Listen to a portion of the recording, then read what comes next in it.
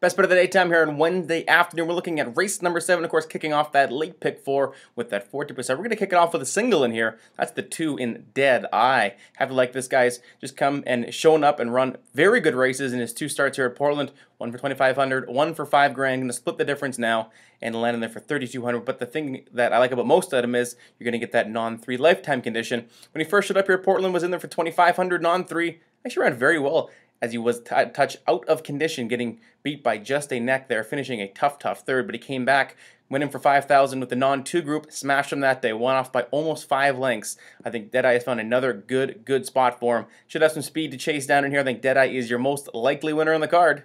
Good luck.